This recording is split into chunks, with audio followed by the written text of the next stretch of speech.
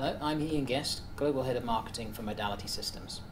Hey, I'm Tom Arbuthnot. I'm Principal Solutions Architect and I look after our diagnostics product here at Modality.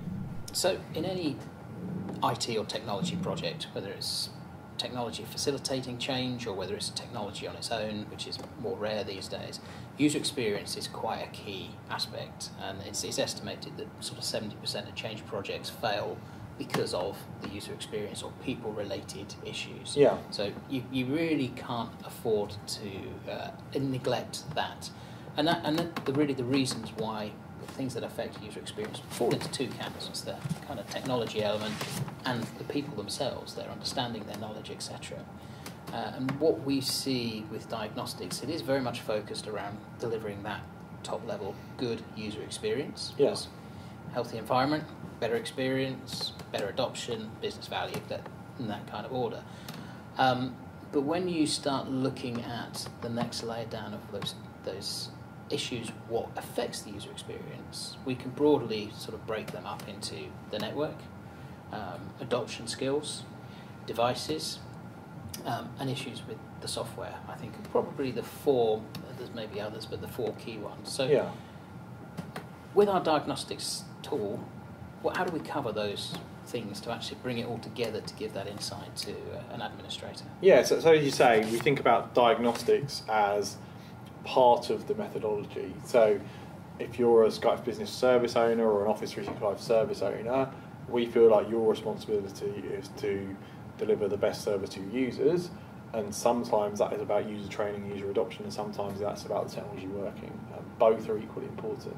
And with Skype for Business, those all get blurred. So the business don't, you know, aren't happy with it, don't understand how to use it. What is that training, or is that network performance, or is that their, their devices aren't patched?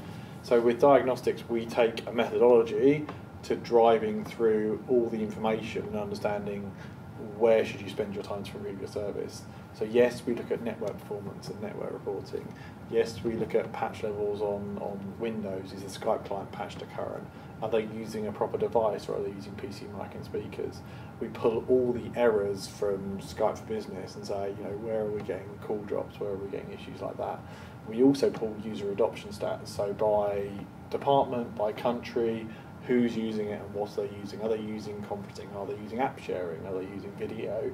Because the theory is if you're using Skype for Business, you want to be using those methods because they're increasing your collaboration and therefore increasing your business performance. And because we take all that into Power BI, we can understand actually from this noise of we need to improve Skype for Business, we can bring it to more of a science of, well, you want to concentrate on these particular users because they're using PC mic and speakers, you want to concentrate on these particular subnets because they've got packet loss, and we're seeing these errors between these two sites, we believe that the proxy in the middle is probably causing the issues.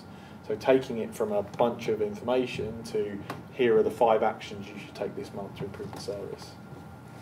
And that's quite key because this is about continual improvement. It's not just about fixing problems that are here today.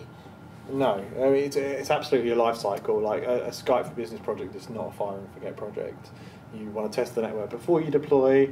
You want to then continuously monitor and test during deployment, and you want to continuously look at usage. Like if usage is dropping off, that's often a sign that something's wrong, and it might not be the you know client patch levels or the devices. It might be something else that's going on that you need to understand. So only with looking at all the information and reporting it and understanding it can you say yes, like last year sales weren't using any conferencing. This year they're using a lot of conferencing. I've enabled the business to collaborate better and improve their performance.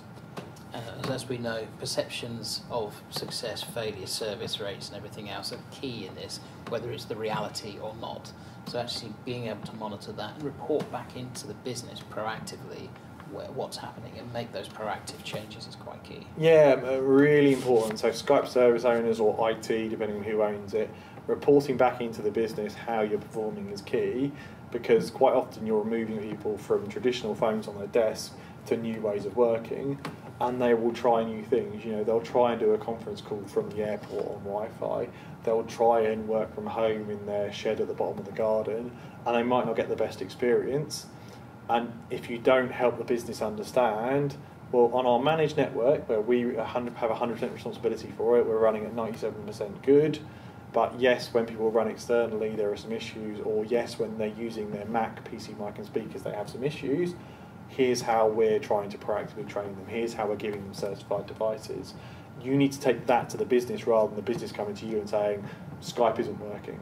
It's like, well, they are not great at defining what they're doing or why they're doing it because they're not technical, they're the business users. So you have to own that responsibility of going to them and saying, look, the things we control, we're scoring this, but we feel there's training requirements here, we feel there's new devices needed here, and the Wi-Fi in you know Aruba needs in investment because it's dropping loads of packets. We need some more money from the IT budget to improve that Wi-Fi.